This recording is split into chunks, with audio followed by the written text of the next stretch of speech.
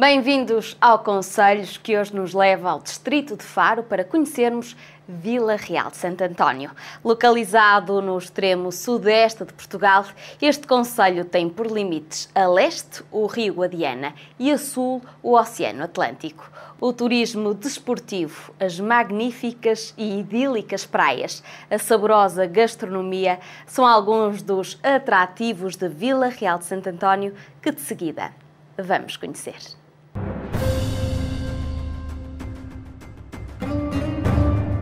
Seja bem-vindo a Vila Real Santo António. Quero convidar os telespectadores a visitarem Vila Real Santo António, o município que está situado aqui mesmo na Foz do Guadiana, junto à Espanha, no Algarve, e temos de facto um património muito diversificado, bem como a nossa oferta turística.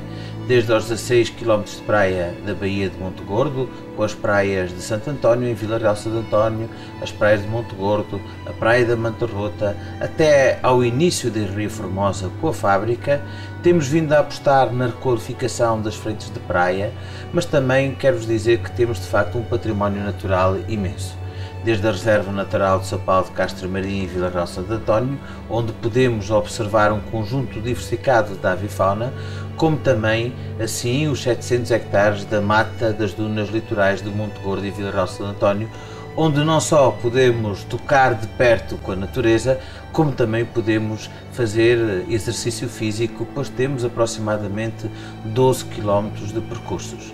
Vila Real Santo António tem apostado também, e permitam-me que sublinhe este aspecto, nas ciclovias.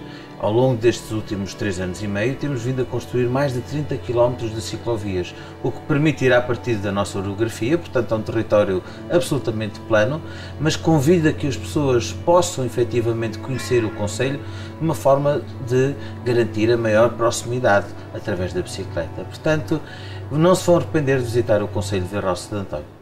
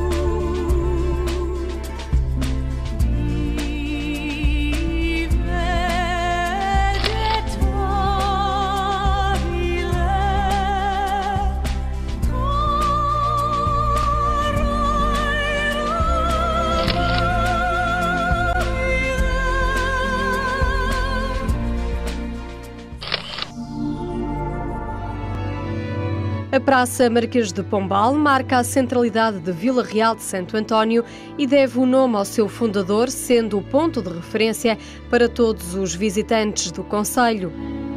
A partir da praça expandem-se as ruas retilíneas, dividindo com rigorosa geometria os vários quarteirões da cidade. A Praça Marquês de Pombal preserva ainda a organização da época, com a igreja ladeando os passos do Conselho, que em tempos representou o poder político central na cidade.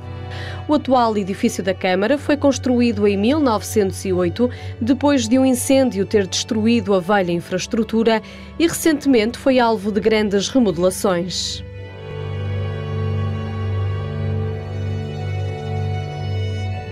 Simpática presença na Praça Marquês de Pombal, a Igreja Matriz de Nossa Senhora da Encarnação, é um belo edifício que viu por várias vezes a sua construção inicial ser modificada em virtude de incêndios.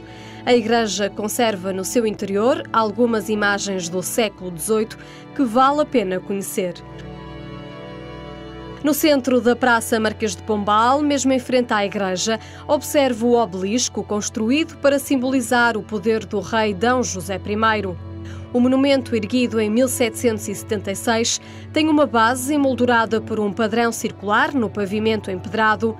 A partir dele, linhas azuis e brancas irradiam em direção aos quatro lados da praça. A zona ribeirinha, mais conhecida como Avenida da República, é uma aprazível avenida localizada junto à margem do rio Guadiana, voltada para Espanha.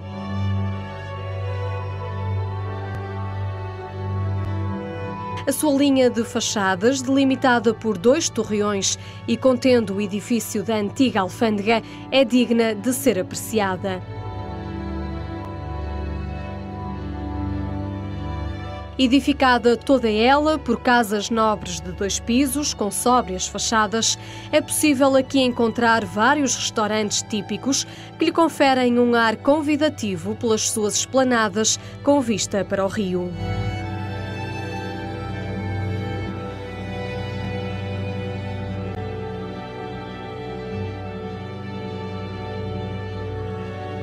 É no cais de embarque que os passageiros apanham o barco que faz a ligação a Ayamonte.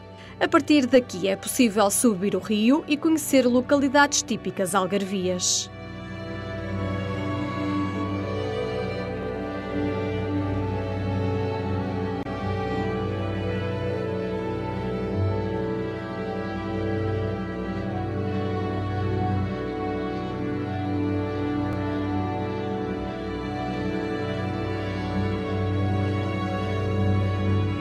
Fundada em 1983, a Associação Naval do Guadiana tem aumentado os seus serviços ao longo dos anos e, para além da gestão e manutenção do Porto de Recreio, é constituída também pela Escola de Navegação e Escola de Vela.